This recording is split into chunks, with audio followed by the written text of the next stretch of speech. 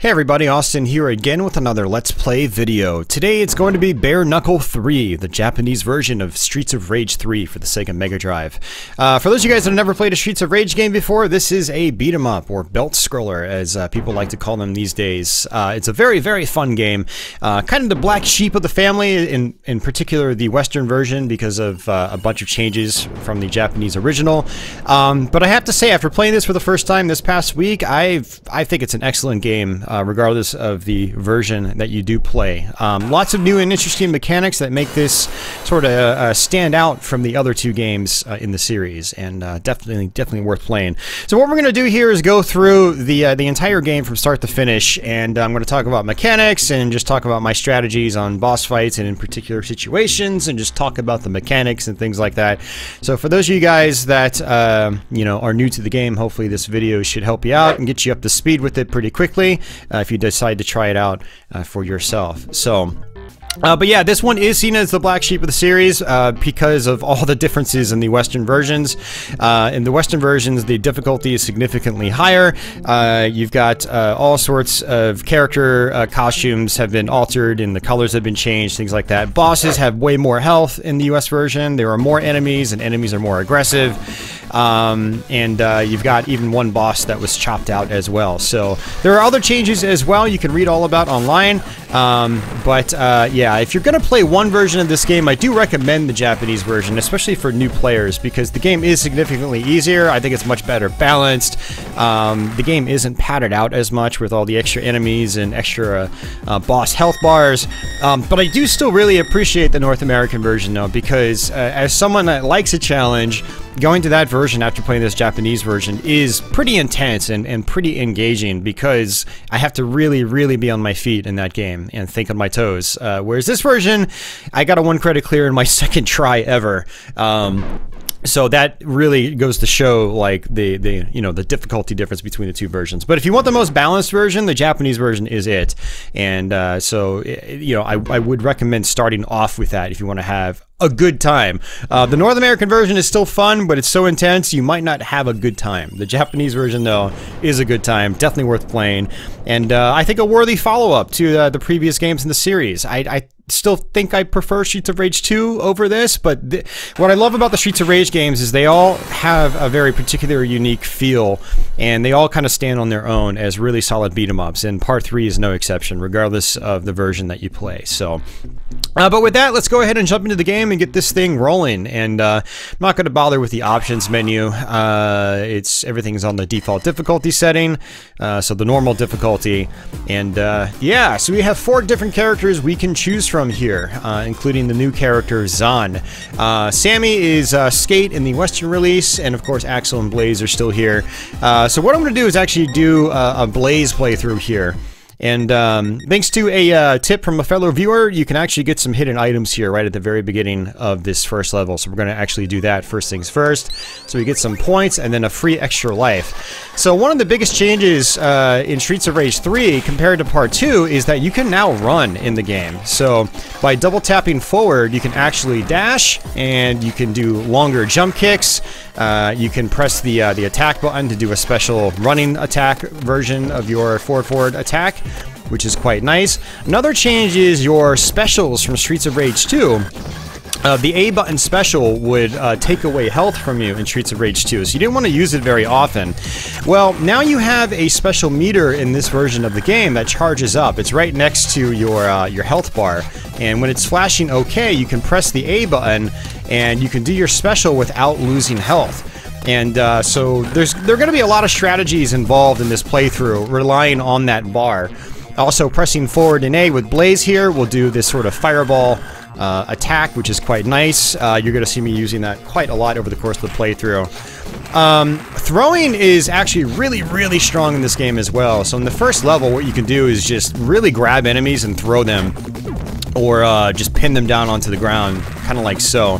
These guys right here with the bandanas, they're actually very dangerous uh, to deal with. They like to throw you as well, just like that. So I don't recommend trying to throw those guys.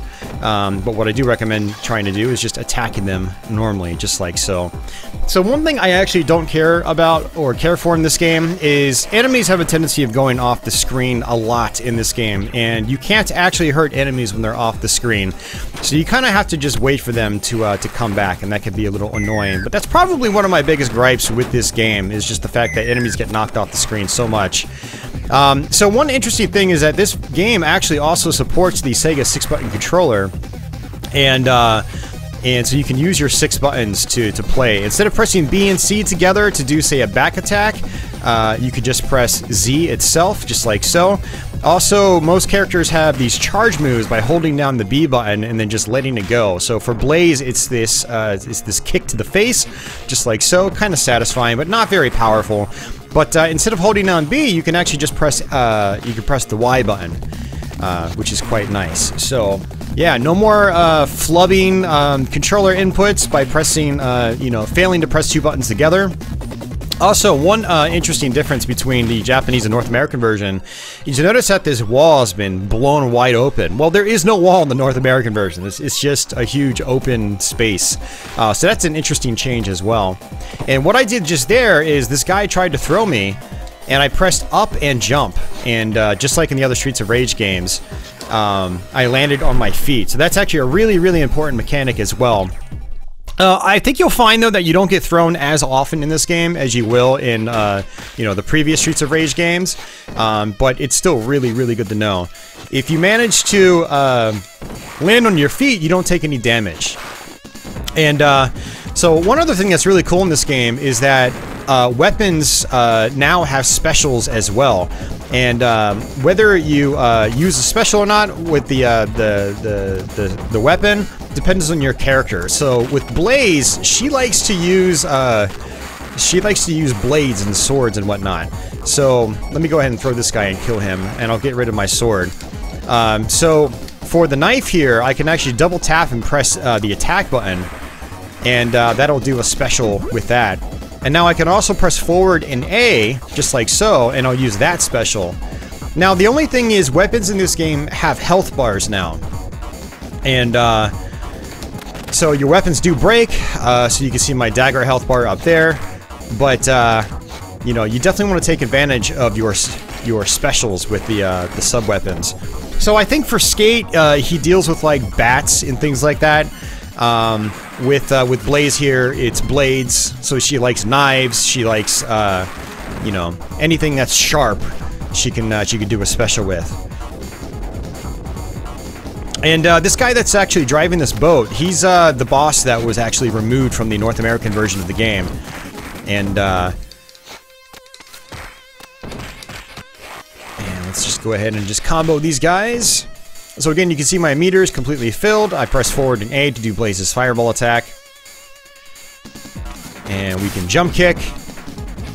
There's another mechanic here that uh, you can do by double tapping up or down uh, you can actually dodge roll uh, vertically. You can't dodge roll left or right or diagonally or anything like that, but this is actually pretty useful, uh, especially later on in the game. You're not going to see me using it a lot, but there are a particular, particular few moments where I definitely will be using it.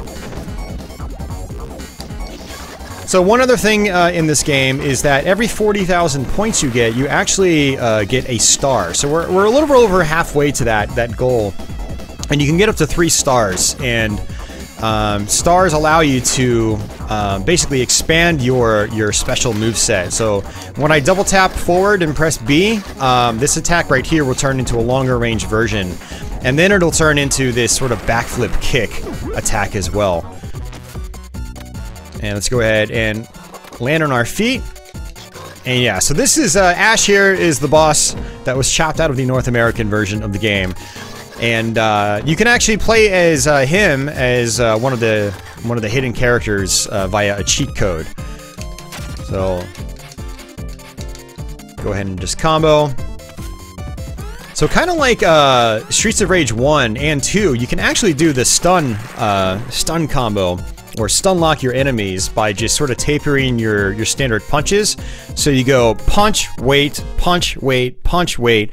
And what that does is it resets your combo, and so your character won't do a combo so this is actually a bad situation to, uh, or bad moment to uh, demonstrate it. So let's go ahead and just throw these enemies into each other. Throwing enemies into one another is actually really good in this game. Uh, because not only does it do a lot of damage to the enemy that you're throwing, but any enemy that gets hit by that guy um, will take a lot of damage as well. So throw her into her, and I killed her in one hit because I threw another enemy into her.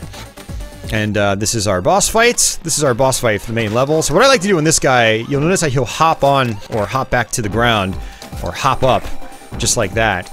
And uh, you can actually just uh, get him into a uh, jump kick combo just like this. One, two, and then, but unfortunately he goes off the screen and then you can't hit him anymore. So again, like I said, um, very aggravating when the enemies go off screen.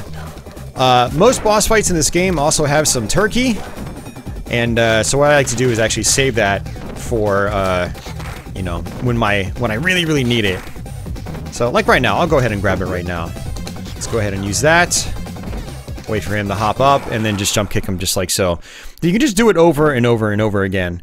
Um, there's going to be one boss later on in the game where even when he goes off screen, uh, he'll still do an attack that just runs straight towards you, and so you can just jump kick him, just get into him, get him into an infinite jump kick loop. Um, and that's going to be the goal for some of the bosses in this game. Not all the bosses, but that first boss in particular, I definitely want to do that jump kick loop. Alright, so we got an explosive right here, and uh, we've got more motorcycle guys. Uh, these guys appear quite frequently in this game. Uh, but I've got an explosive right there, and what you want to do is actually let it go. Uh, if you hold on to it for too long, it actually blows up in your face, and uh, so you don't want that to happen. These green motorcyclists, they always take more hits than the other ones, uh, so you've got to watch out for them. I like to try to just jump kick them one by one. So this is the, the, uh, the stun lock I was talking about. You just time your attack to where your character's combo resets, and then uh, the enemies won't be fast enough to get out of it, and I just got smacked by that. Not a big deal. Uh, some of these guys, like the like the cyclists, they actually don't do a whole lot of damage to you, so it's not really too bad when you when you take a hit. Uh, but yeah, the stun lock, I don't do that often in this compared to, say, Streets of Rage 1. I do think it's a little more useful in Streets of Rage 1 um, because your specials are just so good in this game. So what I might do is grab an enemy, I do a lot more damage that way, and then try to do a special as he gets up. Kind of like so. Just slam him down to the ground like that, and then combo him for the win.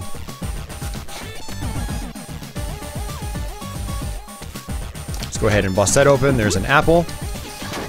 Alright, so this is, in the North American version, the guy with the whip is called Bruce. Uh, he's not Bruce in this one, he's got a different name. And uh, if you want to play as the kangaroo as your uh, your hidden character, his name is Roo in the North American version, and he's Victy in uh, this version of the game. Alright, just let me let go of him. You want to focus on the clown. So, what I like to do is just try to walk up to him and just throw him. Um, he likes to bounce all over the place and he'll dodge your attacks, so it's a little difficult to deal with. So, let's go ahead and just kind of stay over here. You notice that he's off the screen. I can't do anything to him because he's just completely off the screen and he's not doing anything. So again, that's one of my most frustrating one of the most frustrating frustrating aspects of the game, if you ask me. A lot of these guys just like to go off the screen. You can't do anything to them. And there we go. We just killed Danch is his name in this one. Uh, but Roo or Victy just uh, goes off the screen, and then uh, so after you, I don't know if you have to actually beat the game, uh, or if you can just uh, you know get a game over. But as long as you save Victy, um, uh, you know, I know for sure that if you beat the game, if and, and if you save him, uh, he'll be a selectable character. Uh, if anyone out there knows if you can just get a game over and then play as him, let me know uh, in the comment section down below uh, how that works. Um, but yeah, I've definitely verified that if you beat the game and save him, you will get to play as him. And he's a pretty fun character with some some fun moves. Let's just go ahead and throw this guy back here. Um, kind of like Final Fight, um, you really want to focus on crowd control in this. So it's best to try to get all the enemies on one side of the screen as opposed to having them on both sides of the screen. And uh, 20 more thousand points, and we'll get ourselves another star, which will actually upgrade our forward forward B attack quite a bit, to the point where it'll probably be broken. Um, but it's fun. I'm, I'm totally okay with it. I'm not complaining. So I, I actually do prefer the uh, the balance of the Japanese version to the balance of the North American version. You can still get your star upgrades and whatnot, but it's way harder in the English version of the game. And uh, so much so to where I haven't even really been able to take advantage of those attacks when I play the US version, because the game is significantly more difficult. You bust open these chairs for weapons and whatnot. Go ahead and just throw that guy, and then I can go ahead and use my, my dagger special. This is an army knife, apparently. Now, what's really cool about using your weapon special is that it doesn't drain your special bar. So the the blue bar that says OK, that actually still remains charged. So that's actually really cool. And again, you can throw your weapons just like in Streets of Rage 2. And these knife guys are quite annoying, so I'm gonna, gonna go ahead and just try to wait for this guy to come and then throw him over like that, just to get rid of him. And then I just used my special. Remember, you can use your special uh, meter and not lose any health. And uh, so you definitely want to take advantage of that. Go ahead and just throw her this way. And let's go ahead and use our, our special. So Blaze has two specials. Uh, she's basically got that fireball right there, just like so. Or you can just sit in place and tap A, and she does this, you know, this uh, sort of whirlwind kick. Um, which is also very useful. It's actually very useful on this boss in particular. Um, so this is actually Mona and Lisa, at least in the North American version, that's what they're called. Uh, so they make a return from prior Streets of Rage games, and uh, or at least part one. Were they in part two? I don't remember now. Uh, but what she likes to do is jump up at you and then uh, do a, a, jump kick that actually basically targets you. And they also do these uh, these electrical blasts along the ground. So what I what I like to do in this boss is try to uh, get underneath them as they're jump kicking. And uh, basically just punch them as they land, and then I can uh, combo into one of my specials. Now, in the North American version, their health bar is significantly higher, and so they are much, much more difficult to deal with, and they're more aggressive too. So if you can beat these guys without dying on the North American version, or the Western release, uh, you know, I, I tip my hat to you, because it is, it is tough. It is very, very tough. So let's go ahead and just skip this part right here, a little bit of a story intermission. The story intermissions, regardless of the version that you play, uh, aren't very interesting if you ask me. Um, there's no music during them, uh, there's not a lot going on in them uh, in terms of, you know, the, the slides that you see. It's, yeah, I think it's actually one thing that probably could have been chopped out of this version, and I don't think anyone would have missed them. Um, but it is something in this game, and uh, you can just skip through them. So one neat mechanic on this level specifically is, is these barrels fall down. You can actually punch them uh, if you time it just right. So just like that. And you can punch them into the enemies and it actually does a lot of damage. Let's go ahead and use my special on that guy. Those guys' names nasty in this version. Again, the, the bandana guys are uh, very tricky to deal with because if you let them get close to you, they will throw you. And uh, that can be quite aggravating. So I've got my second star, actually. Let's go ahead and use my special there. One interesting mechanic here on this level is that you'll notice that there's wind. Um, this actually pushes you. So if I just jump straight up like that, uh, Blaze actually gets pushed to the left. Now, the wind is temporary and it switches directions. So you have to watch out for that. There was also that, uh, that sign that uh, I uh, basically kicked open for some meat. And um, in the North American version, uh, it's very difficult to get that one because the, the barrels come down so quickly. Um, let's go ahead and just use that. Get rid of that, that knife. And so now the wind is blowing right. You can see all the cans blowing to the right, some and some, some paper blowing in the wind like tumbleweeds. Uh, so any section in the game where you have pits, uh, I like to just try to throw enemies into them just to make life easier or just jump kick them like so. And unfortunately, this lady is uh, taking her sweet time. Just like in the other Streets of Rage games, uh, if you hit some of them, if you hit them, they'll actually kneel down onto the ground before they get up. And when they're kneeling down, you can't actually do any damage to them.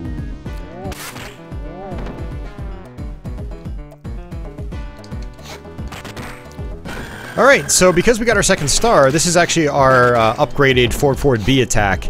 there's going to be a third, uh, or a third star that upgrades it even further. Basically, basically it'll do the the first part, um, but then Blaze will actually dive dive along the ground as well. So, uh, this boss was actually kind of tricky at first to figure out, but all you have to do is actually just hit the walls. Each wall has its own health bar. Oops, I took a hit. I don't ever take a hit on this boss, but you just jump kick uh, the thing. You can also punch it and do whatever, but I prefer to jump kick it. And then I just dash back in the other direction, just like so. Jump kick, just like that. Jump kick. Jump kick.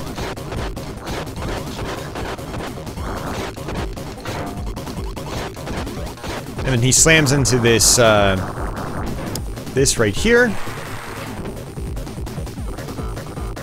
And then on to the next section. Slams into that support beam. Alright, so this is uh, one of several elevator sections in the game. And uh, one new mechanic in this game that's actually kind of funny is that enemies can actually eat uh, your food. And uh, so you do have to watch out for that. I've actually had enemies steal my food multiple times. So what I usually like to do is just leave the food there, but on this level in particular, I like to just leave it in the barrel itself, that way enemies won't, uh, won't eat it. So I'm just gonna throw them off just like that. Throw them off. I'm gonna go ahead and grab that anyway, just to be safe. There's gonna be another turkey at the end, uh, right before the boss fight. Now, what's cool about this game is that if you fall off, uh, you don't actually die instantly. Now, it does take away about a third of your health. So, don't get me wrong, it's still bad to fall off. But, um, Blaze will basically, like, latch onto the, uh, the ledge, and then, uh, she'll, she'll fling herself back up, which is pretty cool. So, yeah, getting knocked off isn't as bad as it is in other versions. Here we go. Again, it does take away a lot of health, um, but it's not an instant death like it is in, say, Streets of Rage 1. Alright, so we've got our uh, third star now, and this is the end of my upgrade path. And uh, go ahead and use my special, and I flew off, and that's our first death. That was actually a terrible way to die. I was expecting to get through this without dying. Um, this this level, at least. Not the whole game. But that's our first death. Not a big deal. Um, we'll, we'll, we, we might die another time or two, you know, as we progress uh, through this game. But uh, I don't predict myself dying too often, and that is just really cheap right there. That happens, you can't really do anything about it. If the knife guy knocks you off and you come back, uh, you'll land on his knife and just take another hit. It's very dangerous. So these are actually some of the most dangerous enemies in the game, the knife guys, um, as they are in other Streets of Rage games as well.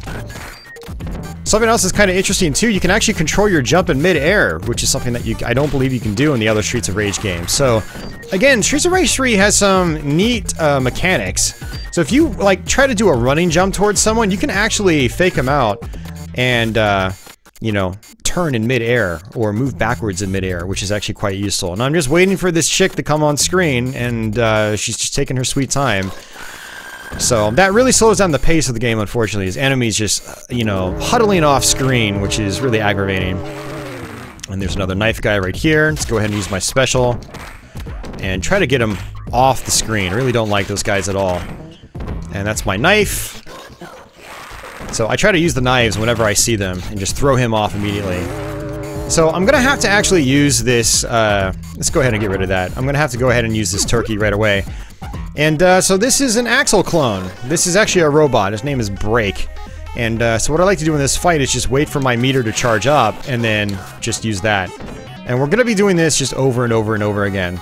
You don't want to jump at Axel because uh, he uses his um, uh, he uses his uppercut, and uh, that's actually quite uh, annoying to deal with.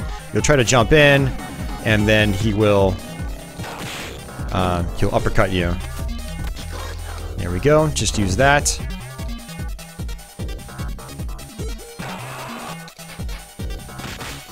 Now I'm probably gonna end up dying here as well.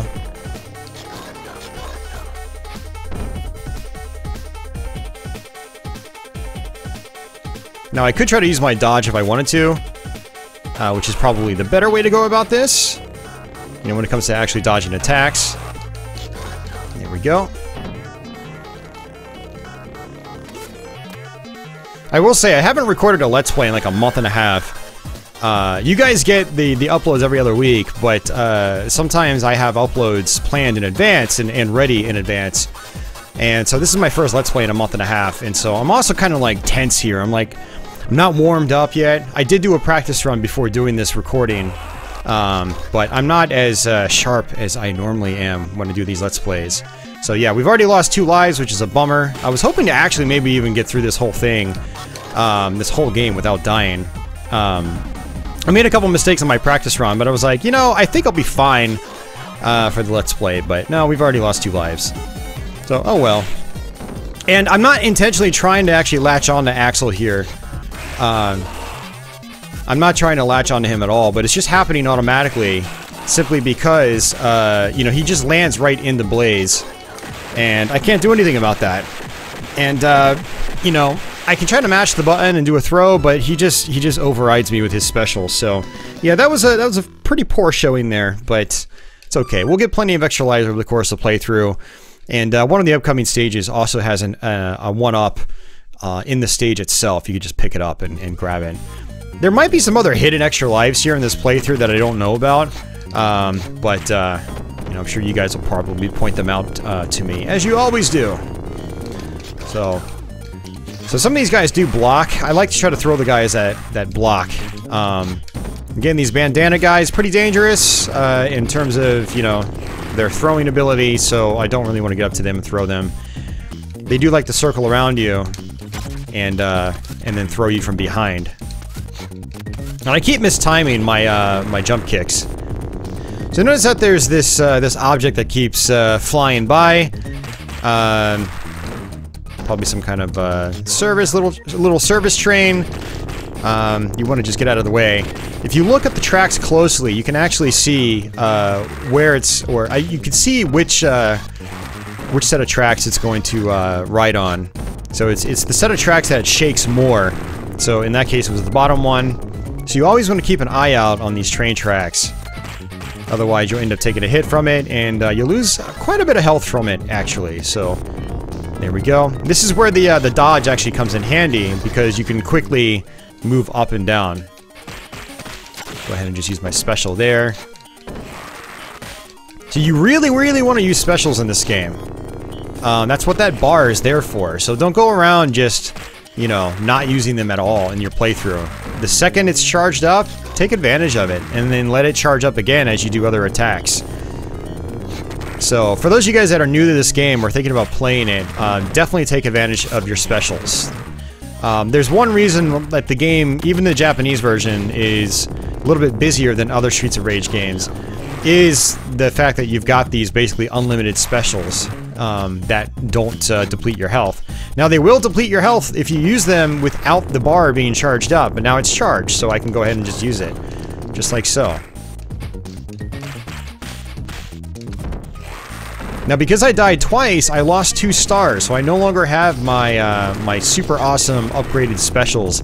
We will get them back, um, but it is disappointing that I lost them. So let's go ahead and just jump kick these guys, and then use my knife on him. Um, watch out for the bottom. And there we go, just like that. And I shouldn't have jumped there. That was a, a dumb thing for me to do. And there we go. So, uh, you know, enemies in this game are, you know, their aggressiveness is sort of denoted based on the, uh, the color of their costume. So green guys have a tendency of being a lot more aggressive than guys that aren't green. And, uh, you know, different colors of different characters uh, will also indicate that they're more aggressive.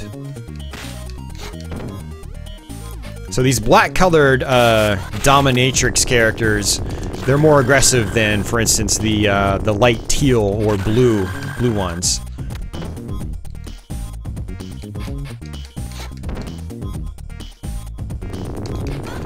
Go ahead and just use my special there. Okay, so we actually got another star back. Uh, I did not hear it. It's supposed to make a, uh, a, sound cue, but I didn't hear it. My sounds were probably uh, being overridden by some of the uh, the action. So same with these girls. Uh, Ruby. I think it's supposed to be Ruby, but they're called Rubby. I think they're probably more aggressive than the other ones. Yeah, so most of the character names in this game have been changed, if not all of them, uh, in terms of like the enemies, I mean. Um, so that is actually quite interesting to see um, compared to the uh, the Western release.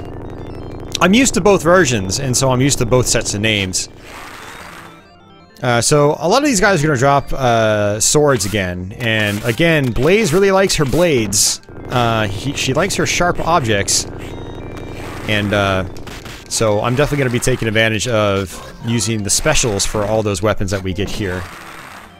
The weapons over the course of the game will start to have bigger health bars, so you can use them a little bit longer. And if enemies have uh, small bars of health, it's good to just try to throw them, because you'll just kill them in one hit. See, just like that. Kill them instantly. One hit. And there's our first one.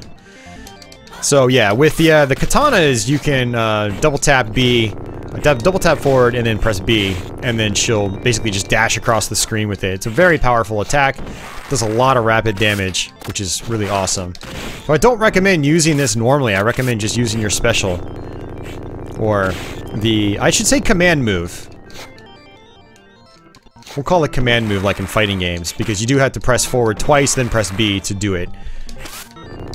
Now, when you're inside these uh, these dirt areas here, you can't actually attack, but enemies won't follow, follow you in. Those areas are there just so you can avoid the uh, the uh, the train tracks, just like so. Now you notice that that guy tried to throw me, and some of these ninja guys like to throw you. And uh, again, you want to try to remember to hold up and press jump in the air so you can um, so you can land on your feet and not take any damage. So this is your uh, Muramasa, and it's got a much, much bigger health bar than uh, the other weapons. Let's go ahead and just try to use that if we can. Let me just get up here.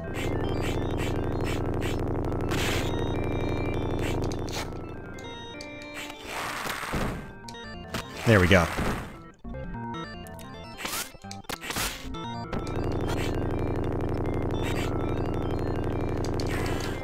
See, press up and jump to land on my feet.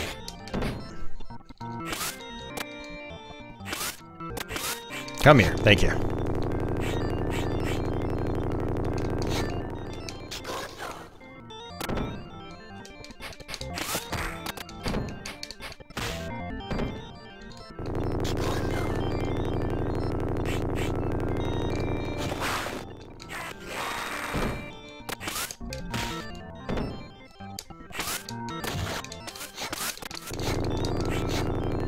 He's off the screen, so I can't do anything to him. There we go. And that's it. Now, unfortunately, unlike Streets of Rage 2, you can't carry your weapons from area to area. At least I thought you could do that in Streets of Rage 2. Man, it's been a while since I played Streets of Rage 2. I did a Let's Play of it, I think, about... I don't remember if it was last year or if it was the year before. I do so many playthroughs on my channel that uh, a lot of it all just blends together, and I forget details about specific uh, specific games. Um, but I'm pretty sure you could carry your weapons from area to area in Streets of Rage 2. At least I thought you could. But yeah, anyway, this is our, our boss fight for this level. Uh, it's a three-phase boss fight. They all pretty much do the same thing, except they have a final attack. Not final attack, but a special attack that is unique to them. So that attack right there, they like to bounce back and then dash forward with their sword. When they do that, I like to get up and just do my special, my fireball special. You notice that Blaze's fireball special just has a, a lot of reach. And so that attack right there, where, uh, you know, he splits into two and does two sword attacks, that's unique to this, this second phase. The first phase, the guy disappears and then appears either to your left or right uh, which leaves him wide open actually for a, uh, a good special to the face.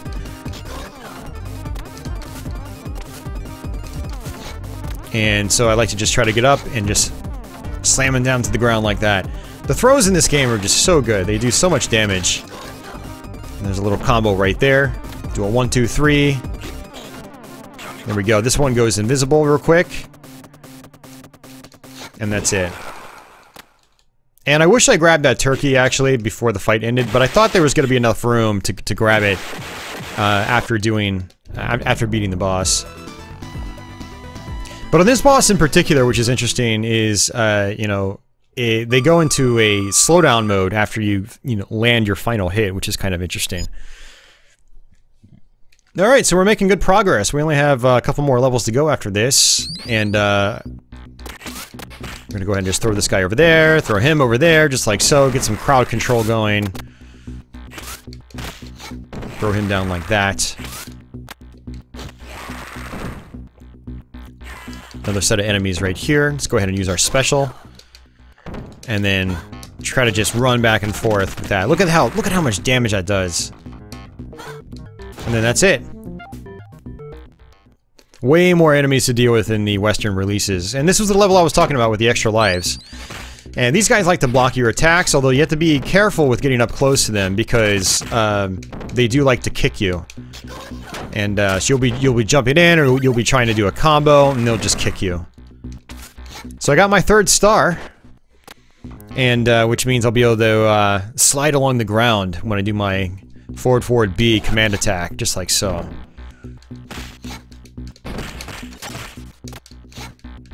And as you can see, they can even block your specials, which makes them uh, definitely a little bit trickier to deal with. But one thing that's kind of nice, and it's a nice feature, is that uh, they do take they take chip damage, as we would call it in fighting games. So they block, and they still take a little bit of damage. That's called chip damage. So it's not like, say, Final Fight, where the enemies are just completely immune to your to, to damage when they're blocking in this, you can still do a combo against them and still feel like, okay, I'm making progress on this enemy. But that's also why throwing them is pretty good too.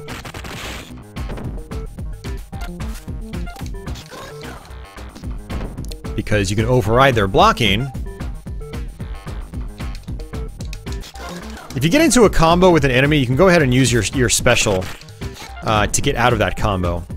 I'm still a little weak at doing that. Like, I, they'll hit me four or five times before I realize that I can do my special.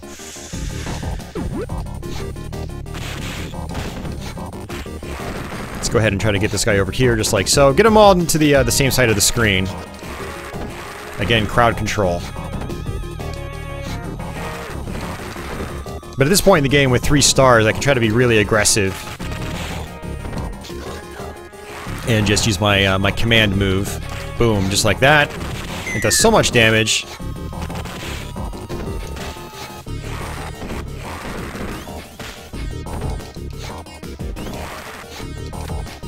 No knife for you. That's my knife.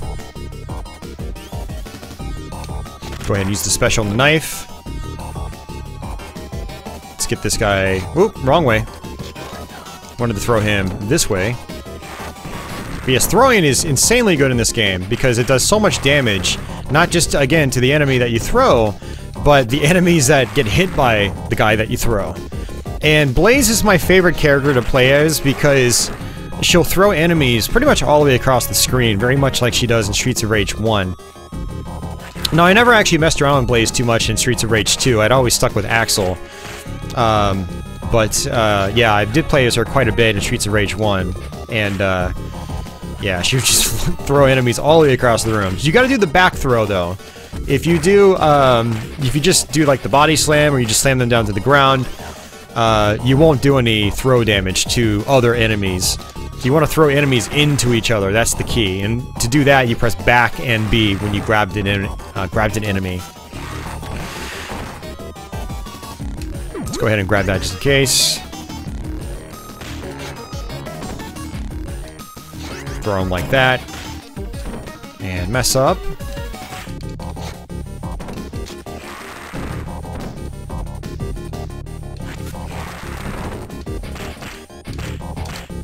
Just do the stun lock, and then use my special on him.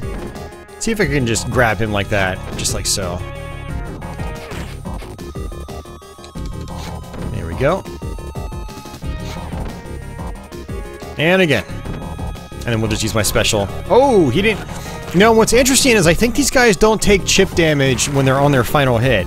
So you have to watch out for that. You can't just cheese them um, and have them block your attacks and then still die. Uh, that doesn't seem to really happen.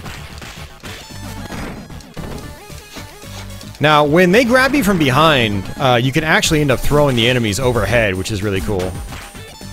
So this box here actually has some more chicken, and I'm not going to open that. I'm going to try to leave it there so I can use that uh, later on in the fight.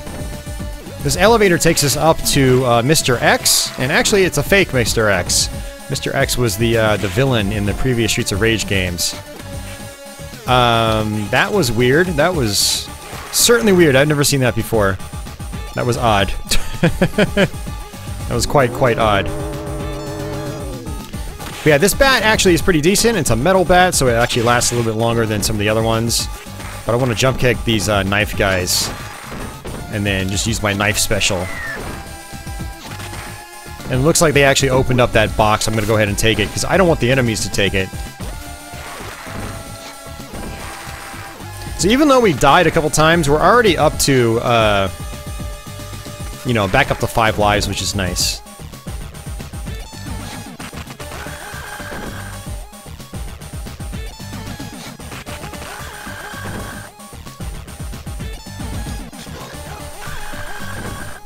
Making progress, though. Making progress.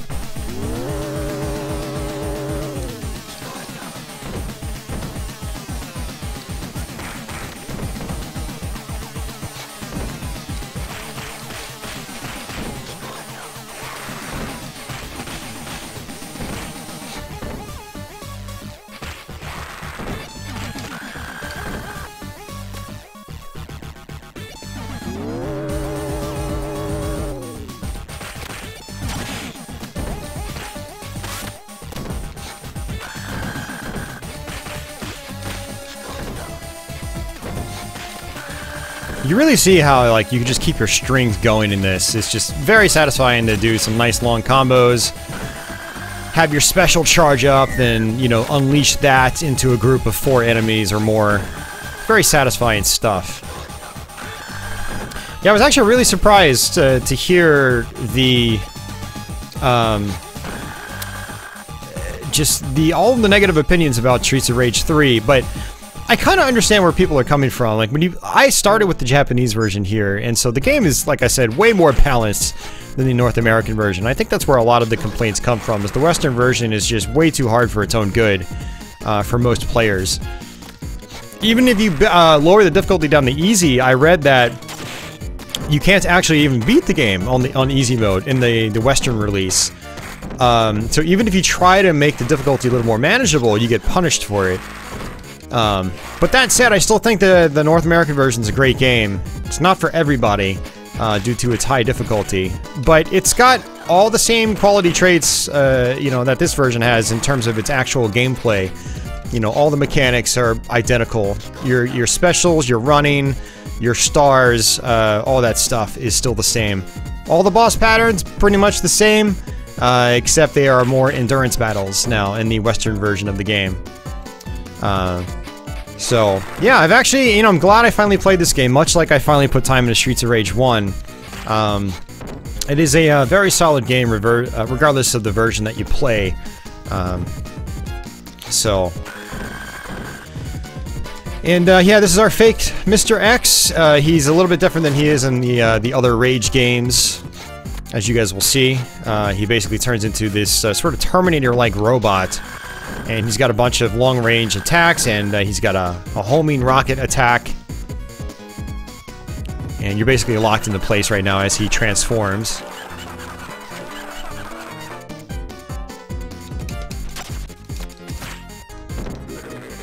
when he does that laugh, you've got a, a, few moments to just get a free hit on him. Go ahead and use my special there. I like to use my special to try to get around that, uh, that missile. And if he gets close to me, I like to use my special.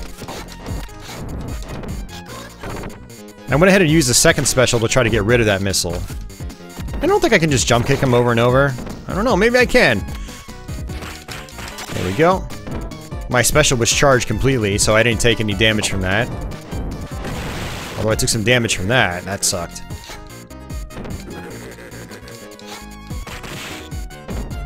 Try to save my special for when I really need it. Okay, that was not good.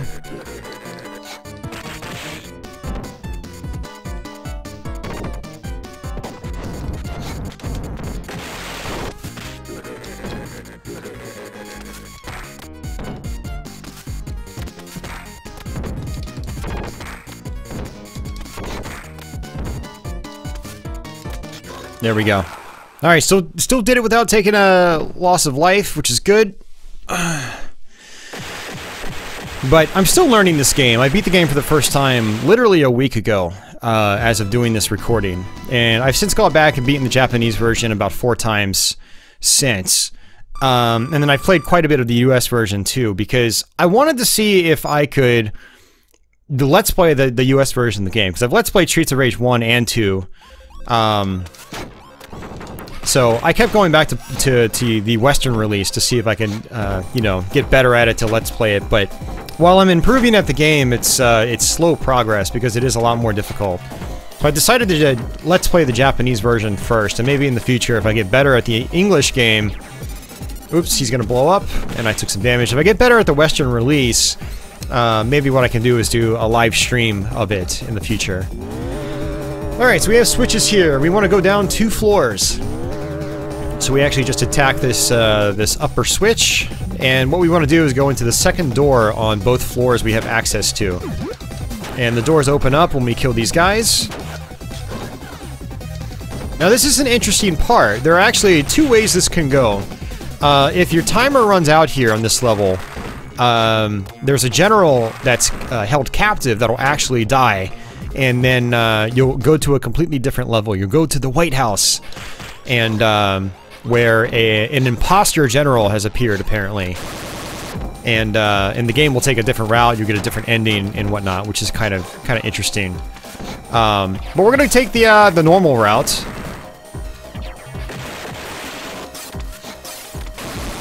Uh, but what you have to do is basically uh, go into the second room of each floor, destroy these computers, and then that'll un unlock a, uh, a barrier that'll let you save the uh, the real general. And as long as you save the general, you'll actually go fight a robotic, another robotic Mr. X at the very end of the game. Um, whereas if you don't do that, Mr. X, Mr. X gets away, and you'll get yourself a different ending. So these enemies reappear, and I don't think I can do anything about them. Um, or I don't think I can uh, skip them. I have to actually fight them again. So we're going to do just that. Let's go ahead and grab this, just throw this at them. I'm gonna do this again, actually.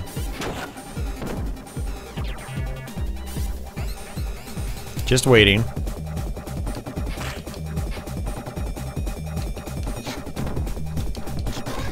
And he blocked my attack, so I wasn't able to kill him, just like I was talking about earlier. Elevator's uh, open again, so we hit that switch.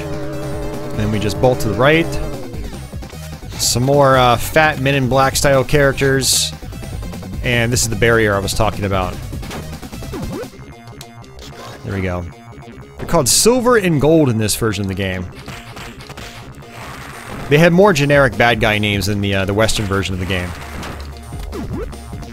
Alright, so that's door number one, and we go to door number two. These doors aren't labeled, unlike the doors down below.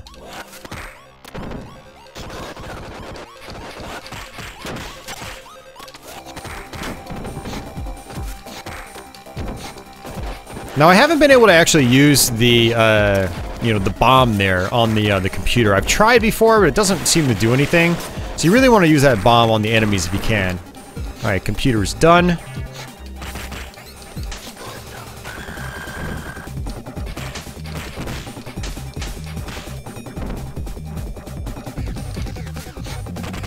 And throw him, just like that.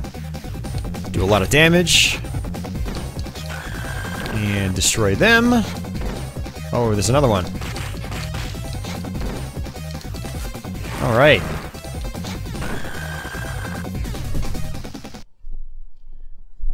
Alright, so these boxes reappear. Uh, I think on this one now I don't actually have to hurt these guys because the barrier's down. So I'm gonna go ahead and grab this, and then we have just rescued the general. The most bearded guy in the game. So, this is probably one of the toughest parts of the game, this boss right here. Uh, you don't want to get near him to throw him, because he will just throw you. So what I want to do is just try to use my specials over and over, and then jump kick where appropriate, just like so.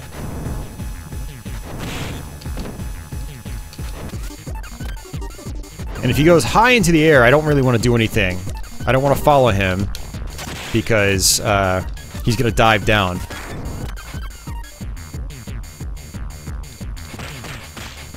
Just like that.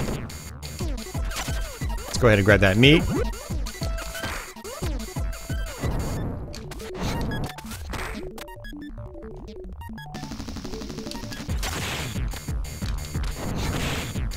The collision detection on these, uh, the block jet guys, very annoying. It's very annoying. As you can see, like, earlier I jump kicked over one of them and I still got hit. Even though it clearly looked like I shouldn't have taken a hit.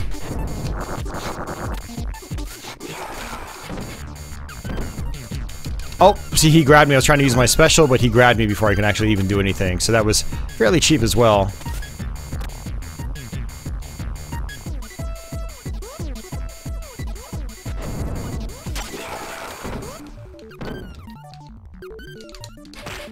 There we go. When he's low enough to the ground, you can punch him. You can punch his feet. He's almost dead. And he threw me. Go ahead and use my special. There we go. We got it. Only one life lost that time. I think last time I fought him, I lost two or three lives, which was pretty bad. Uh, so, you know, even though the Japanese version of the game is a lot easier, it's, um... There are still some tough parts in the game. That boss in particular is one of those tough parts. Alright, and there's Adam. And let's go ahead and just skip through all this. And on to the final stage. And again, if you did not save the general there, you'd go to a different final level in the game.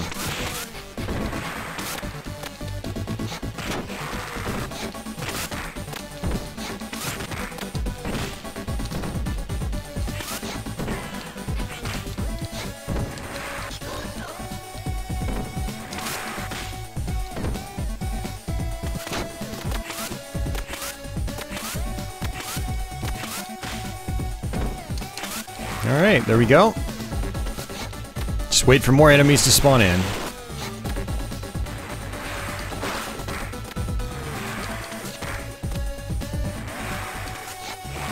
And those green cyclists, like I said earlier, you know, they have health bars. They usually take multiple hits. And one thing I like to do is just use my special and then throw other guys into them, which is pretty fun to do.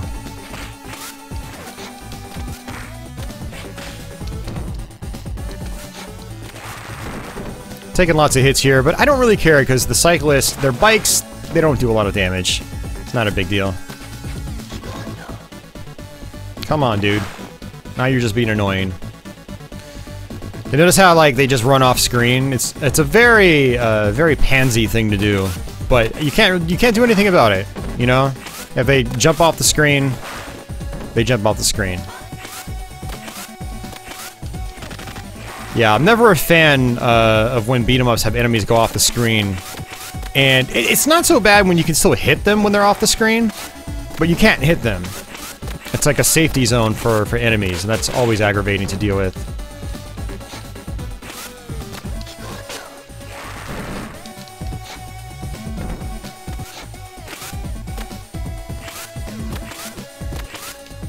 there we go. Look at that damage. Crazy damage. Now this knife down here, it's, a, it's just like a dagger. It acts, acts exactly like a dagger. So I don't bother picking those up unless it's the only weapon on the playfield, but right now we've got, you know, our katana.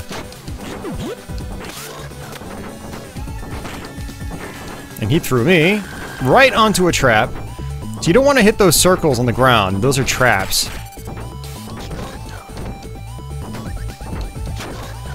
And uh, you will definitely lose some health if you touch them.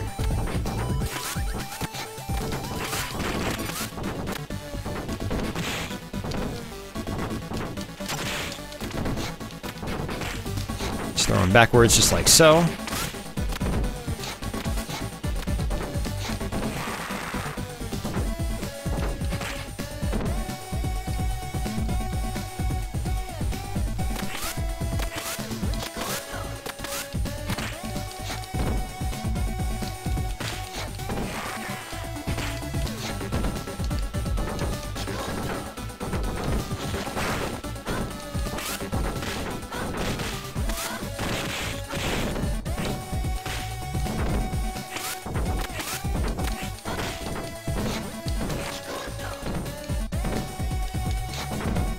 You see how some of these enemies start to get pretty annoying later on in the game too. It's just they bounce all over the place. Uh, so those robots combined with the ninjas are, are pretty aggravating to deal with. And more fake Mr. X's. So for these guys, I'll just jump kick them.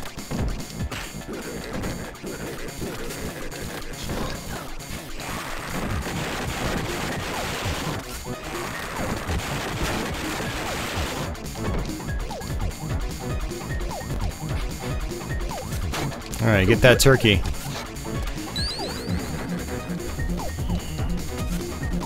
I'm really just like zoning out right now. I'm not even focusing, which is why like my gameplay's not been as good these last couple levels.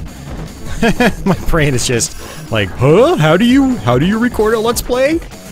I don't know how to let's play anymore.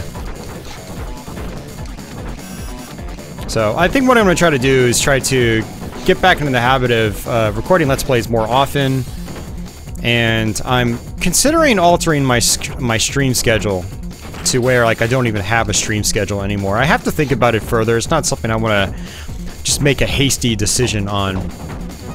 Um, but I think my Let's Plays are more important than my live streams. Um, I don't think the viewership is as great on the Let's Plays, but I do get more valuable comments and whatnot, and uh, people find more value in these videos years later, it seems. And I also find that with the, the current Let's Play uh, setup, where I, I get a couple recorded, and then I upload them bi-weekly, and then it's it's a month and a half before I do my next set. Like, when I go to do my next set, I'm rusty, and it's like I have to get back into the groove all over again. Like, sitting here, playing a game at the same time, explaining the mechanics, and doing it by yourself in a room with a mic you know, talking into a microphone to yourself is a little awkward, and it is something that you do have to actually practice. And it is something that you have to, um, you know, it's something that you've, you've got to warm up to and get used to. So, I might even start doing multiple uploads a week, or multiple Let's Plays a week, instead of doing bi-weekly. I'll do I'll try to do weekly the best I can, but then I'll also sometimes even do more. Maybe I'll go back to the old days where I would do multiple let's plays uh, in a in a week, um, depending on on what uh, what game it was and whatnot. But I don't know. We'll see. I have a lot of thinking to do. And uh, these guys are becoming really aggressive for some reason. these are some of the easier enemies in the game. The silver and gold, you know, suit guys. I don't know why I'm having trouble with them right now go ahead and just use my special there. Throw this guy over here. Grab that turkey because I'm not doing too well with health. Taking a lot of unnecessary damage. Fortunately, you don't have to deal with these rocket guys too many times in the playthrough. They can, uh, they can definitely be a little irritating to deal with.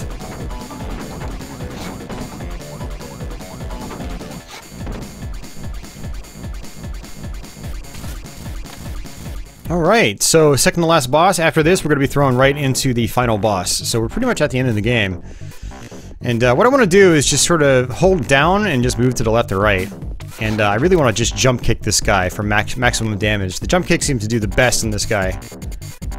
So, jump forward like that, and then jump kick.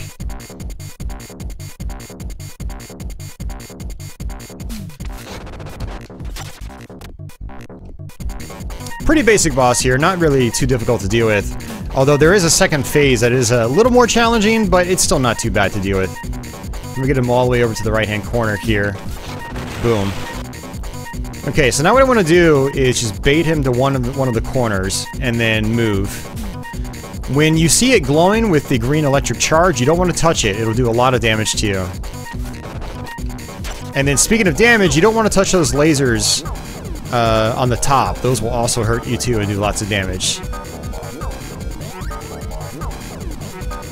And there we go. So this final boss here, we're going to actually try to get him into a jump kick loop, just like we did with the very first boss in the game.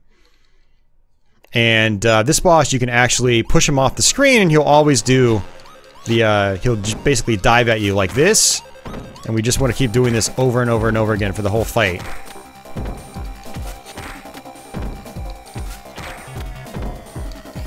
And I'm not going to mix up the strategy at all unless he does something different.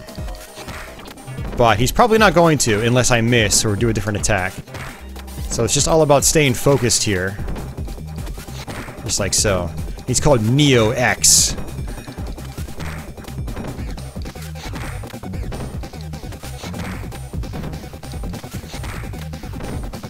He's doing something else now. Let's do my special. Get over here. He always jumps at me like that. It seems like when you push him off the screen, he always does this jump attack. So it's one of the only times in the game where pushing an enemy off the screen is actually beneficial.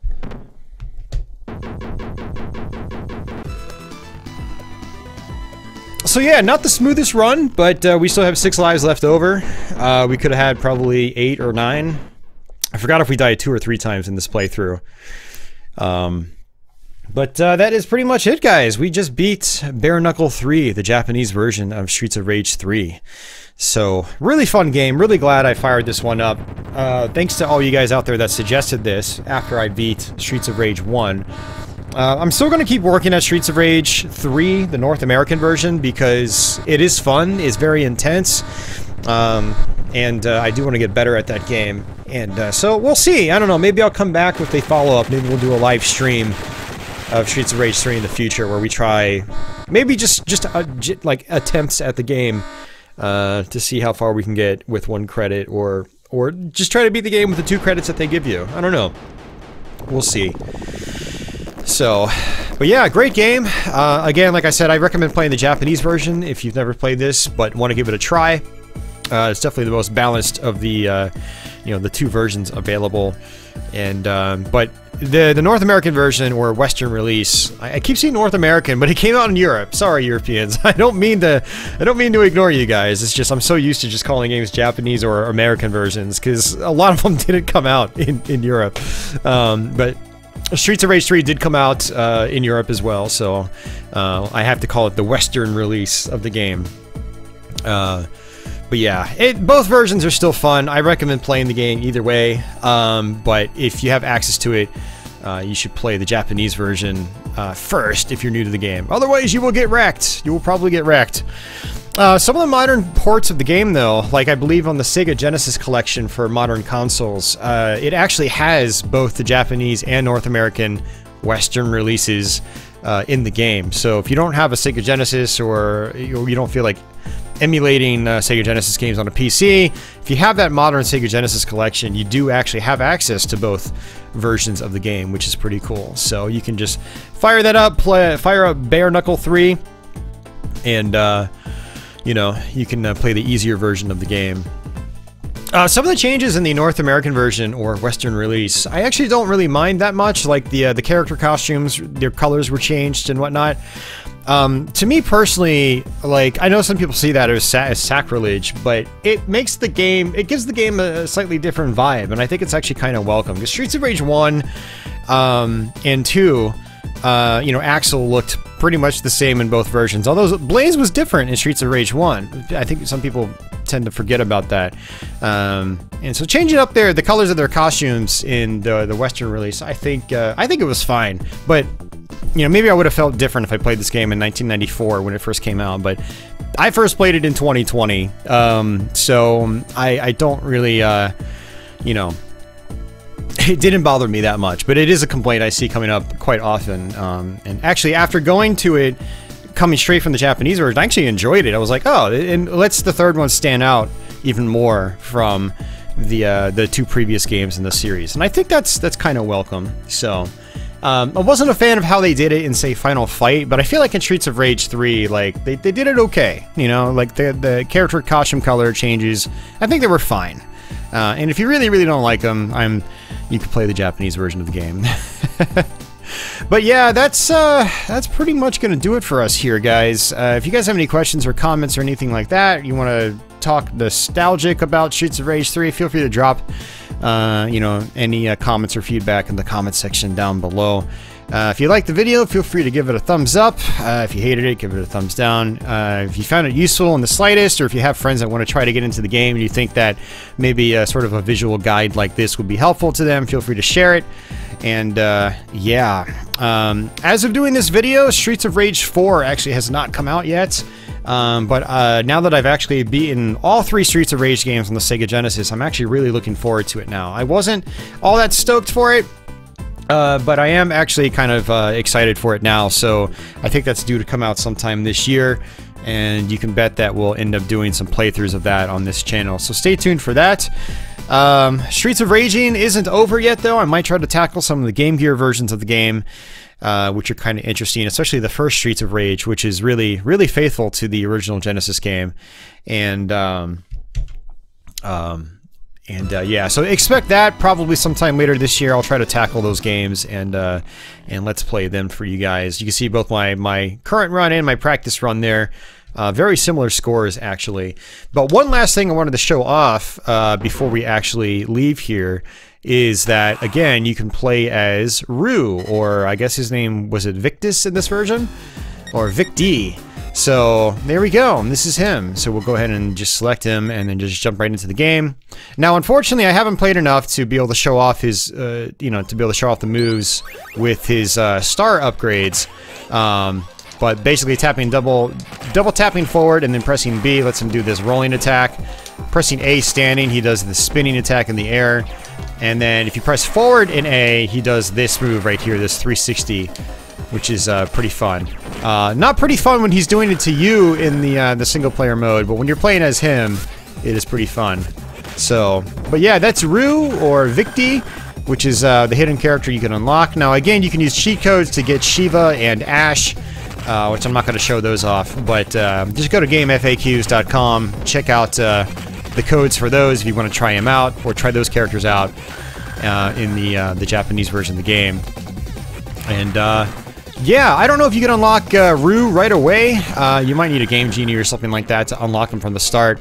Um, but he is on stage two, so as long as you you beat uh, you know the clown guy, uh, you can get him unlocked and then and then play as him. Nice little bonus character, uh, which adds uh, to the replay value of the game. One of the great things about the Streets of Rage games is the replay value from playing as different characters, because every character has a different feel, and they have their their the strengths and weaknesses uh, their own unique strengths and weaknesses, uh, which again gives the game just great replay value. So, um, but yeah, that's pretty much going to do it for me, guys. Uh, again, I hope you guys enjoyed this video. Uh, I'll be back with another Let's Play sometime very, very soon, either next week or the week after, hopefully next week.